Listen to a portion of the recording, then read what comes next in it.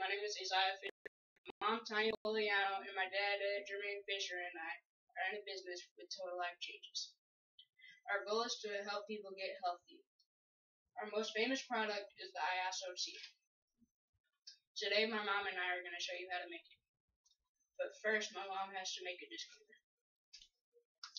Hi everyone, as Aziah mentioned, my name is Tonya Fogliano and we are independent business owners with Total Life Changes. I have to make a disclaimer because the information and instructions we are going to give today are different than what you will find on the back of the tea. The reason for this is I've been on Iaso tea for over a year now and I like to change up the flavor a bit. As you can see, I don't need the tea to lose weight. However, it does help me maintain my healthy weight and it helps to keep away migraines for me, insomnia, body aches, and allergy symptoms. That being said, another disclaimer is we are making no medical claims. And although the tea does help with weight loss, there are 25 other health benefits. So if you're not seeing the benefits of weight loss, pay attention to the other benefits you may be noticing. First, you need to start by adding a half gallon of water to a, pot, a large pot. Then turn the stove on high for the water to boil. While it is boiling, we are going to share some additional information with you.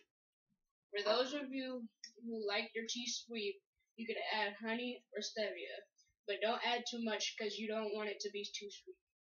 Just add a little bit at a time. You, don't want to add sugar or any artificial sweetener because it'll ruin the effectiveness of the tea. You can also add, add fruit such as berries, sliced lemons, etc.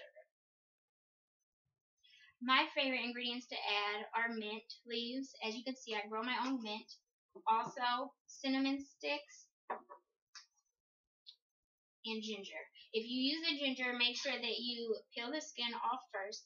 And whatever ingredients you use, make sure it's all natural or or organic and that it's cleaned thoroughly because you will need them to sit in your tea for the entire week along with those two tea bags. After you are finished with the Iaso tea, you get to dry them out for uh, the tea bag, uh, dry out the tea bags and use them as seasonings on all of your food. It doesn't add any flavor, but it gives you the same benefits as it does in the tea.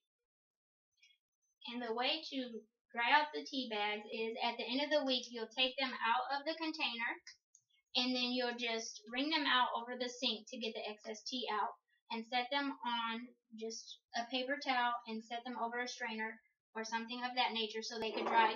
And after a couple days you can just actually put them in a recycled seasoning container or you can actually purchase one similar to these at the Dollar Tree. The great thing about using the tea as seasonings on your meals, you could put them on all types of food, eggs, pastas, steaks, whatever, because it really doesn't give you a flavor.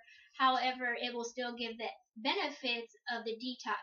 So it's wonderful for children such as Aziah who really don't like the taste of tea um, to give them those benefits as well as adults who really don't drink the tea. Thankfully, every now and then he will try to uh, make himself drink the tea. Um, now I'm going to take off the water, uh, take the water off the burner. And my mom is going to tell you more about the tea. Alright, so um, as you can see, I've opened the tea, and there are two tea bags, and it's very important to use both because one of the bags contains four herbs and the other contains five. And together they work synergistically to provide the detox and cleansing needed for all systems of the body. The herbs um, that are contained in these packets are holy thistle, blessed thistle, papaya, ginger, marshmallow, persimmon leaves, chamomile, malva leaves, and myrrh. Now I'm adding the two tea bags to the water. And now I will cover it so it gets steep for eight hours. Bedtime is the best uh, time to make your tea. So when you get up in the morning, you could take it and put it in a container. And at the end of those eight hours, you're going to add it into a container, as Aziah mentioned. I recommend a glass container such as this because the plastic containers can allow toxins to seep into your tea, and we want to avoid all toxins. Um, and you'll want to put the extra half gallon of water into that, which will combine give you a total of an entire gallon, which will last for the full week. And you'll want to include the tea bags in there as well as any added ingredients.